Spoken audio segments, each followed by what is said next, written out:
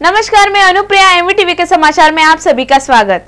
देश के 10 करोड़ परिवारों को 5 लाख रुपयों का आरोग्य बीमा संरक्षण देने वाले आयुष्मान भारत इस योजना के अमल बजावनी से एक लाख नए रोज़गार निर्माण होंगे। देश के 10 करोड़ परिवारों को 5 लाख रुपए का आरोग्य बीमा संरक्षण देने वाले आयुष्मान भारत इस योजना के अमल बजावनी से एक लाख नए रोज़गार निर्माण होंगे। मरीजों को योजना का फ़ायदा मिले इसलिए मार्गदर्शन करने के लिए प्राइवेट और सरकारी अस्पतालों में एक लाख आयुष्मान मित्रों की नियुक्ति की जाने वाली है। अस्पताल में इसके लिए विशेष मदद कक्ष स्थापित किए जाने वाले हैं। बीस हज़ार प्राइवेट और सरकारी अस्पताल इस योजना से जुड़े हैं। ग्रामीण क्षेत्र के 80 प्रतिशत और शहर के 60 प्रतिशत लाभार्थियों के नाम निश्चित किए गए हैं। Bureau report MVTV news one खाते के ओर से 50 करोड़ वृक्ष लागवड़ करने का संकल्प किया गया है। इस वृक्ष लागवड़ में महाराष्ट्र अग्रसर है। वन खाते की ओर से 50 करोड़ वृक्ष लागवड़ करने का संकल्प किया गया है। इस वृक्ष लागवड़ में महाराष्ट्र अग्रसर है। 2016 और 2017 में दो और चार करोड़ अधिक वृक्ष लागवड़ करके राज्य ने संकल्प पूरा किया है। 2018 में 13 करोड़ वृक्ष लागवड़ का संकल्प रखा गया था। इस वर्ष 15 करोड़ अट्ठासी लाख इकहत्तर हज़ार तीन सौ बावन वृक्ष लागवड़ की गई है। ब्यूरो रिपोर्ट एमवीटीवी न्यूज़ सात और आठ अगस्त के दिन दक्षिण मध्य महाराष्ट्र और पूर्व पश्चिम विदर्भ में तेज बारिश होने की संभावना है।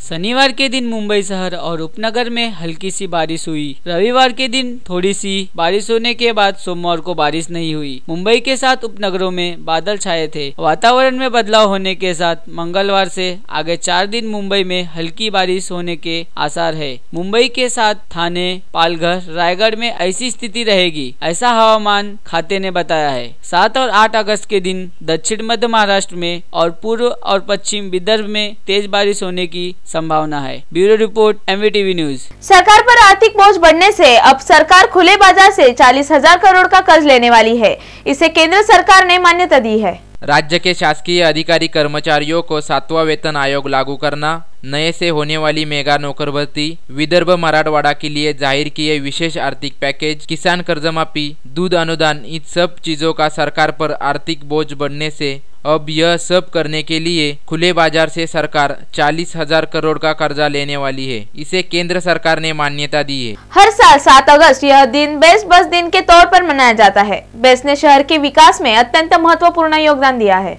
हर साल सात अगस्त यह दिन बेस्ट बस दिन के तौर पर मनाया जाता है। बेस्ट ने शहर के विकास में अत्यंत महत्वपूर्ण योगदान दिया है। घोड़े से खींचे जाने वाले टाम गाड़ी से लेकर वातानुकूलित बस ऐसा लंबा सफ़र बेस्ट ने तय किया है। 15 जुलाई 1926 में पहली बस अफगान चर्च में कारफेर मार्केट तक बस शुरू हुई। आज पूरे शहर भर में बेस्ट बस हर रोज हज़ारों लोगों को यातायात सुविधा दे रही है। उपनगरीय रेलगाड़ी की तरह पूरक सेवा देने वाली बेस्ट बस का नाम है। ब्यूरो रिपोर्ट एमवीटीवी न्यूज़ आज के समाचार में इतना ही। नमस्कार।